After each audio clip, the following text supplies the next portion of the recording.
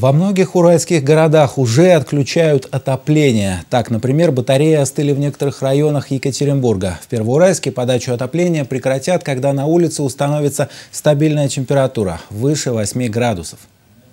Традиционно первыми подключения попадут здания, собственником которых является муниципалитет, но в больницах, школах и детских садах отопление сохранится. Решения об отключении этих учреждений будут принимать самостоятельно. Жилые дома управляющие компании начнут отключать по районам. Полностью подача отопления в Первоуральске может прекратиться 15 мая. После этого коммунальщики приступят к ремонту городских теплосетей.